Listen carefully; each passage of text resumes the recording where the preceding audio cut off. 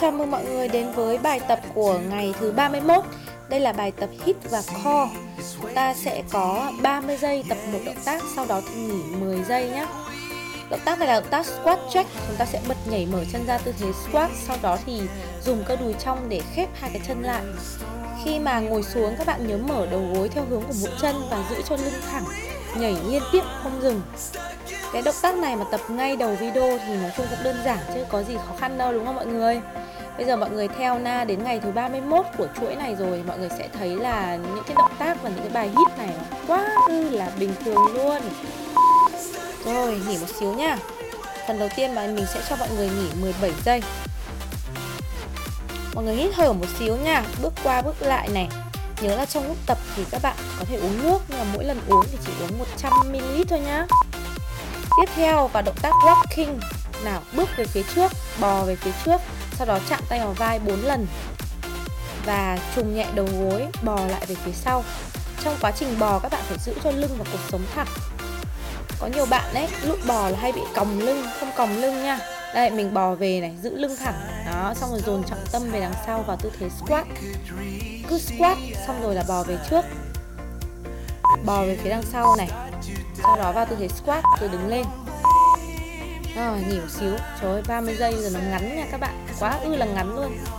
Ngày xưa mình ờ, mình tập 30 giây các cái bài hit mình thấy mệt, chứ bây giờ thì đơn giản quá.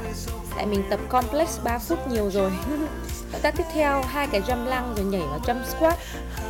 Muốn tập được động tác này, mọi người nhớ siết chặt cơ bụng lại, giữ cột sống thẳng, dồn trọng tâm vào phần gót chân đầu gối không vượt quá mũi chân. Ở cái tư thế lăng ấy, đầu gối không vượt quá mũi chân.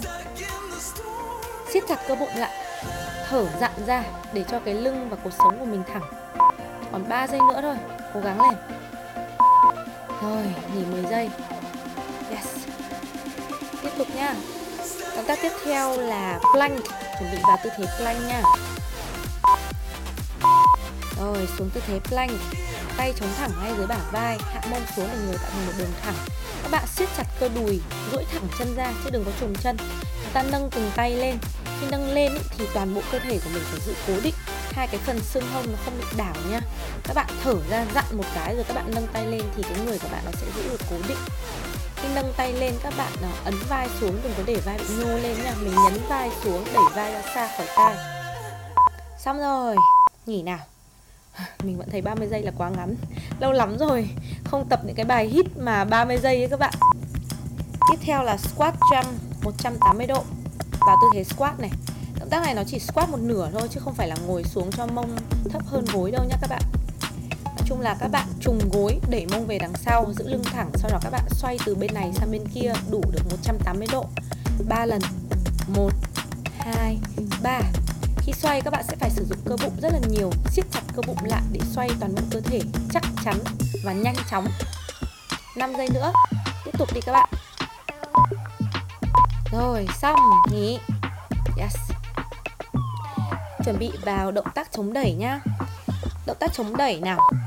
Mọi người có thể hạ đầu gối xuống thảm hoặc là duỗi thẳng chân. Nào, bò về phía trước đi. Hai tay mở rộng bằng mép thảm tay chống thẳng dưới vai xòe rộng 10 đầu ngón tay ra và ngón tay giữa hướng thẳng về phía trước. Chống đẩy xuống rồi nâng một tay lên khi lên. Đó. Khi nâng lên toàn bộ cơ thể của mình giữ nguyên không bị nghiêng hông cũng không có bị uh, nghiêng ngực. Mình giữ nguyên người nha. Các bạn nên tập chống đẩy thẳng chân vì mình thấy động tác này nó cũng không khó đâu. Bạn nào tập theo mình lâu rồi thì hãy mạnh dạn lên. Mạnh dạn thẳng chân là các bạn sẽ làm được thôi.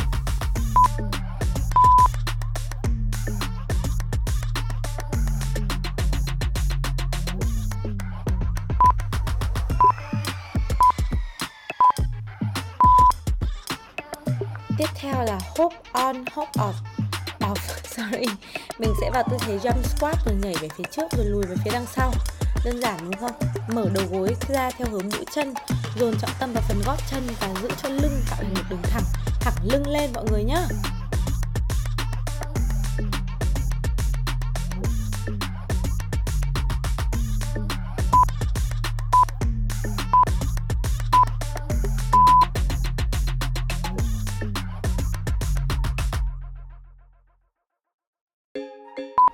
Chuẩn bị đến động tác tiếp theo, mọi người sẽ ngồi xuống ở tư thế crunch.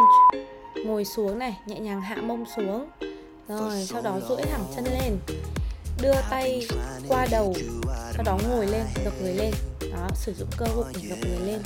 các bạn hãy đưa tay ra qua đầu nhé siết chặt cơ bụng lại. Khi ngồi lên cái người các bạn nó vẫn ngả phía đằng sau thì bạn sẽ vẫn sử dụng cơ bụng nhé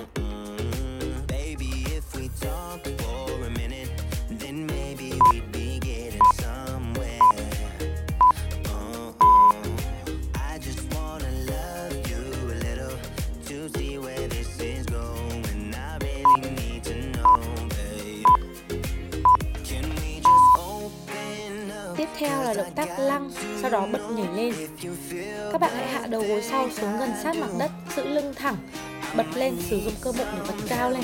Chân phải nhấc lên khỏi mặt thảm nha.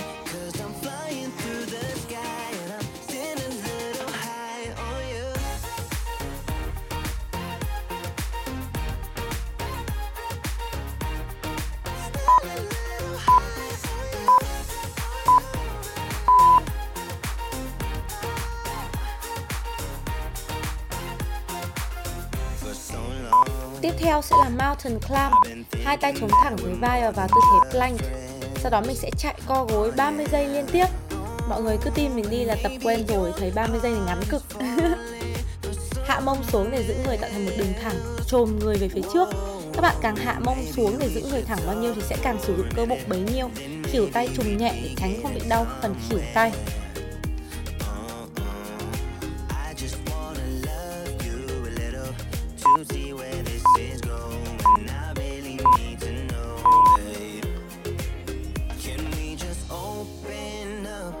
I got to know if you feel the things I do.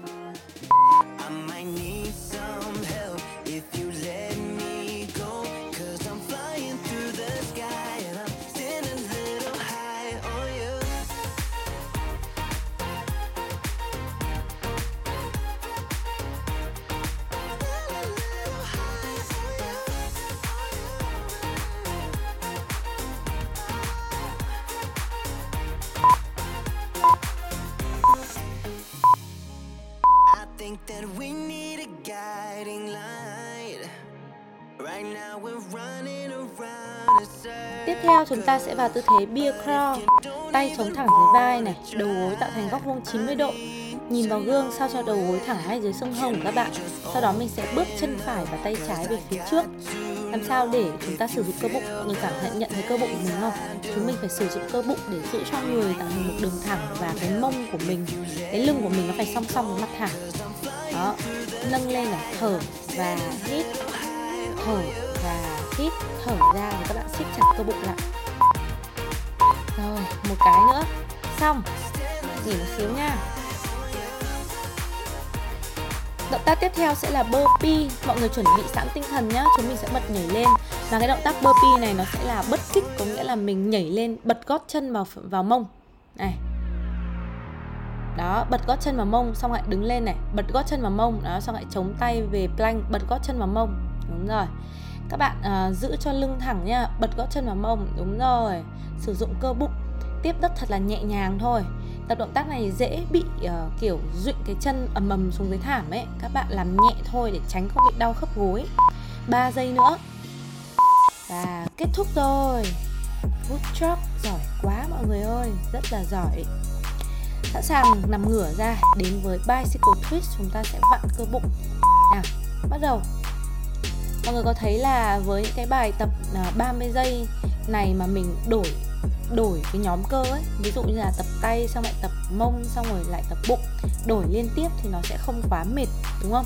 Những cái bài nào mà nó tập đi tập lại vào một nhóm cơ thì nó mới mệt. Cái bài ngày hôm nay nó chỉ là kiểu tập cơ toàn thân kết hợp với cơ bụng thôi. Nên là các bạn sẽ không cảm thấy mệt đâu. Tập rất là đơn giản, đúng không? Mọi người hãy để lại comment cho mình ở phía dưới về cường độ của bài tập ngày hôm nay theo cảm nhận các bạn nhé. Xong rồi, nghỉ nào. Uh tiếp theo sẽ là động tác burpee lần này sẽ kết hợp với burpee và chạy cao gối nhá. Bắt đầu, chạy cao gối 6 lần, sau đó bật nhảy về đằng sau và lại chạy. Mountain climb 6 lần, bật nhảy lên. Co gối 6 lần. Rồi mountain climb, chạy. Muốn tập mệt ở động tác này thì các bạn phải chạy thật nhanh, chạy nhanh lên. Giống như là chân mình như một cơn gió ấy, giống như trong phim hoạt hình ấy. Không nhìn thấy chân đâu ấy. 5 giây nữa. Nhanh lên nhanh lên mọi người ơi. Nhanh lên nhanh lên nào. Xong. Nghỉ 10 giây. Rất là tốt. Chuẩn bị uh, nằm ngửa ra lại tập bụng này. Lần này mình sẽ đưa hai chân lên trời. Tay nọ chạm vào mắt cá chân kia. Hand to ankle. Các bạn hãy vặn cái lồng ngực nhiều vào để tập cho cái phần cơ chéo bụng. Duỗi thẳng hai chân ra nếu được thì mình làm nhanh làm nhanh lên. Mình sẽ phải sử dụng cơ bụng nhiều hơn. 30 giây cho động tác này. Nào, hãy vặn cái phần ngực của các bạn nhiều hơn, với tay cao hơn. Hít vào thở ra đều đặn và gồng siết chặt cái phần cơ bụng của mình nha. Hai, một, xong. Ok. Lên. Và chúng ta sẽ quay trở lại từ đầu. Động tác đầu tiên là squat jack mọi người có nhớ không? Rồi đứng lên luôn nào. Bắt đầu bật nhảy squat jack bài này là à, chúng mình sẽ lặp lại hai vòng thôi. Hít mà tập lặp lại hai vòng. Động tác này thì quá là đơn giản rồi. Giữ thẳng lưng lên. Hạ mông xuống thấp hơn đầu gối để cho nó có thể vào được cơ mông của các bạn. Mọi người tập nhiều mọi người thấy mông đùi mọi người có rắn chắc hơn không? Như mình ấy hôm nay mình mặc cái bộ quần áo này mình thấy mông đùi của mình siêu to khổng lồ. Đùa chứ. À, không to hơn so với nhiều người nhưng là to và căng hơn đùi của mình khi mà mình mới quay cái chương trình giảm mỡ cơ bản này nhiều luôn đấy rồi nghỉ nào. 10 giây. Uhu. Quên đoạn này là được nghỉ 16 giây. Sorry, sorry. Đọc nhầm. Chuẩn bị vào tư thế walking to shoulder tap Vào tư thế bò về phía trước nha Và tay chạm vào vai 1, 2, 3, 4 Sau đó bò lên Dồn trọng tâm vào gót chân Sử dụng cơ bụng để đứng lên siết chặt mông, siết chặt đùi lại để duỗi thẳng chân ra và giữ cái hông cố định, không di chuyển, ổn định hông. Khi các bạn ổn định hông có nghĩa là các bạn đang siết chặt cơ bụng lại đấy. Động tác này mọi người chỉ cần làm chậm thôi, đừng làm nhanh, làm nhanh nó không để làm gì cả, nó sẽ dễ bị lắc người. Rồi, kết thúc. Chuẩn bị đến động tác jump lăng cho jump squat. Jump lăng hai cái, xong rồi là chuyển sang jump squat nha. Sẵn sàng này. Bắt đầu, go jump lăng jump lăng và jump squat động tác này khá là mỏi đùi nhất là khi mình đã tập lại ở vòng thứ hai dồn trọng tâm vào phần gót chân giữ thẳng lưng lên và luôn nghĩ về cái cơ bụng của các bạn siết chặt càng những cái động tác bật nhảy lên như thế này này thì mình càng phải siết chặt cơ bụng hơn bụng mà không siết chặt ấy, thì không bao giờ mình có thể đáp đất mà người vững chãi được mình sẽ đổ nghiêng ngả từ bên này sang bên kia mất kết thúc vào tư thế plank, chuẩn bị đến động tác plank và nâng từng tay lên nhé. Plank alternating single arm raise. Bắt đầu. Đưa từng tay lên này. Bạn hãy cố gắng giữ chặt cái phần hông của các bạn bằng cách siết chặt cơ bụng vào. Giống như là mình đẩy cái rốn lên phía trần nhà ấy, để cho cái bụng nó siết chặt lại, giống như là mình đang dặn ị ấy. Và nếu mà bạn nào vẫn bị lắc hông, các bạn có thể thử hai chân mở rộng hơn một tí chân mở rộng ra thì người nó sẽ dễ giữ thăng bằng và cố định hơn hai tay thì hẹp lại, hai chân thì mở rộng ra và kết thúc rồi, tiếp theo chúng ta sẽ đến jump squat 180 độ. Vui lòng đứng lên các chị em ơi. Sẵn sàng chưa? 3 lần nhá, bắt đầu. 3 2 1 và 3 2 1 Dồn trọng tâm vào gót chân, Không ai được bấm ngón chân về phía trước nha Giữ thẳng lưng lên. Siết chặt cái bụng lại. Hít thở đều. Động tác này tập vừa mệt mà thực ra thì nó cũng không mỏi, Nhưng mà với mình thì nó khá là mệt và nó giúp mình siết chặt cơ bụng. Bạn phải siết chặt cơ bụng, bạn mới có thể xoay cả cái người được như vậy á Và done Kết thúc rồi. Quay trở lại với push up. Cả nhà mình ơi, chống đẩy duỗi thẳng chân nhá. Chống đẩy xuống rồi nâng một tay lên. Hai tay mở rộng bằng mép thảm chuẩn bị này. 3 2 1 bắt đầu. Chống luôn chống luôn. Xuống, hít vào lên thở ra. Siết chặt cơ bụng không được võng lưng. Cái ờ, cái điểm cần cải thiện nhất mà mình để ý khi các bạn tập động tác này chính là cái phần lưng. Mọi người hay bị võng lưng lắm bởi vì là mình chưa siết chặt cơ bụng nên cái lưng của mình nó sẽ bị lỏng và nó võng ra. Nên là nếu không muốn bị võng lưng các bạn hãy nhớ là dặn ị dặn ị. Nghĩ đến cái từ đấy. Xong. Uh, uh. tiếp tục nha chuẩn bị vào động tác hop on, hop off. Bật nhảy về phía trước và về phía đằng sau. Bắt đầu. Lên này, xuống này, lên này, xuống này. Hạ mông xuống thấp hơn một tí được không các bạn? Mông càng thấp thì nó càng vào mông mà. Mông thấp hơn đầu gối và giữ thẳng lưng lên. Dồn trọng tâm vào gót chân. Tiếp tục tiếp tục tiếp tục. Còn 10 giây nữa. Không ai dừng lại nhá. Ai dừng lại là là phải nhặt liêm sỉ đấy xong, yes, quay trở lại với động tác tập bụng. Cả nhà mình cùng nằm xuống và thực hiện V crunch. Xuôi tay về, xuôi tay, xuôi chân về hai hướng khác nhau, sau đó thì ngồi bật lên. Nào, chuẩn bị. Bắt đầu, lên luôn. Đưa tay về phía chân này. Lại đưa tay qua đầu này, lại bật lên này. Hãy cuộn tròn phần thắt lưng lại tưởng tượng như là lưng của bạn là một nửa của một quả bóng ấy. Lưng của các bạn mà càng tròn thì các bạn càng sử dụng cơ bụng rectus là cái nhóm cơ bụng rộng cơ bụng dọc là cái khiến cho người bạn nó có thể tròn lại như vậy ấy. Cuộn lên ấy. Nó thực hiện cái chuyển động cuộn lên của bụng. Rồi, đến động tác lăng. Nào, lăng to hop. Mình sẽ vào thế lăng, sau đó thì bật nhảy lên này, rút gối, bật nhảy lên bật cao lên bật cao hết sức có thể các bạn. Các bạn bật cao đến đâu nào mình xem nào. Bật cao hết cỡ chưa? Sử dụng cơ bụng. Thấy người mình nó phải gồng lên nhiều không? Rất là giỏi. Tiếp tục đi các bạn. Không dừng lại. Nếu mình có thể làm được. Thì mình sẽ tiếp tục. Uh, 5 giây nữa thôi. 2 1 đâm. Đen chuẩn bị vào tư thế plank. Động tác tiếp theo là mountain climb. Leo núi. Tay sẽ chống thẳng dưới vai. Sẵn sàng. Vào, let's go. Mọi người ơi 30 giây. Chạy thật nhanh nhá. Chạy thật nhanh thật nhanh thật nhanh thật nhanh thật nhanh thật nhanh. Cho mình xem thế nào gọi là hết tốc độ của các bạn này. Hãy đừng giống như là một bà già mà mình phải nhanh chóng lên, mình phải khỏe mạnh lên, mình phải sử dụng hết tất cả nguồn năng lượng của mình trong cái bài tập này ra tập thì không có quan trọng là tập lâu. Kiểu có nhiều bạn bảo mình là ngày tập hai, ba bài liền, hai, ba tiếng liền, nó không để làm gì cả. Quan trọng là cái chất lượng trong một bài tập. Hãy làm hết sức của bạn này làm cho khi nào mà bạn cảm thấy là nó đã đời thôi. Ok. Đứng lên nào, cả nhà. Chuẩn bị lại vào tư thế lăng to hop nhé vào ờ, cái động tác lăng mà đổi chân nha các bạn. Đổi chân rồi bật nhảy lên. Hai, ba. Bắt đầu. Bật lên đúng rồi. à, mọi người cứ tiếp tục nhảy đi mặc kệ mình nhá. Ngày hôm nay lại là một ngày mà trời cứ nắng mưa thất thường. nó cứ nắng xong rồi lại có đám mây bay qua thế là nó lại dâm. lại xong rồi mình cứ phải đi chỉnh ánh sáng hoài luôn.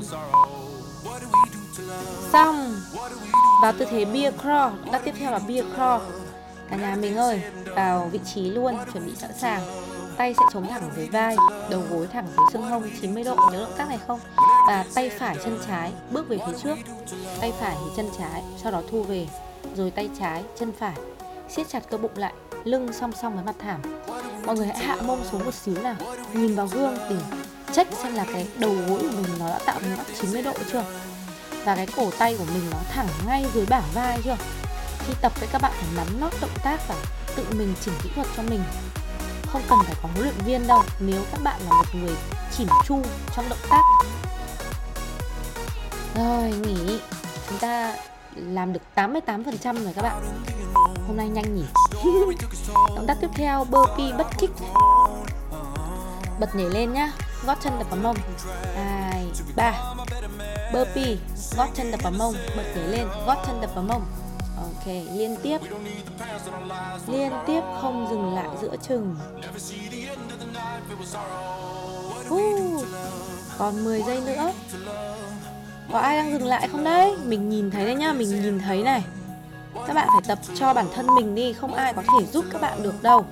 Mình vượt qua bản thân nào. Xong.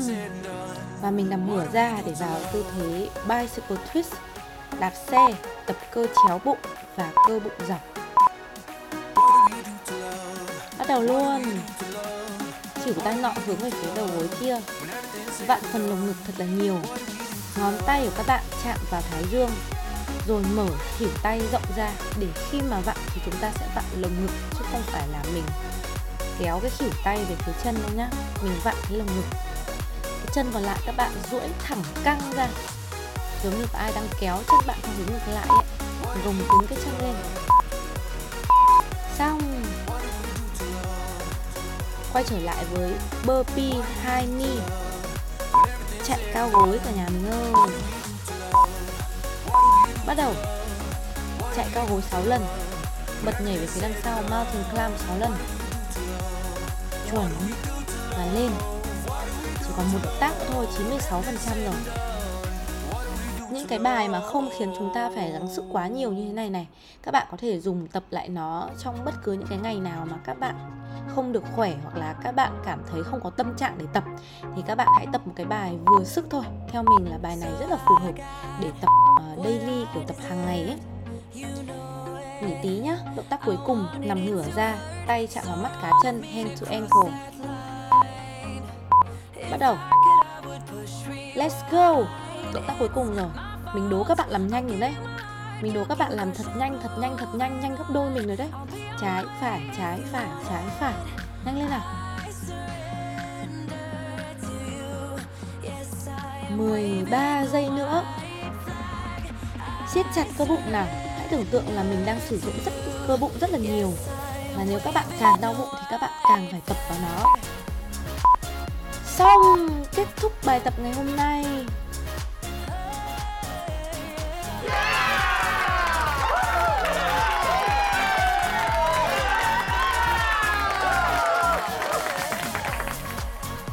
Ngày hôm nay thì các bạn hãy tự giãn cơ nhé vì ờ, đúng lúc quay xong này là mình có lịch để quay một cái video khác nên là không có thời gian để quay giãn cơ với mọi người luôn. Hẹn gặp lại mọi người trong video tiếp theo nha. Bye bye!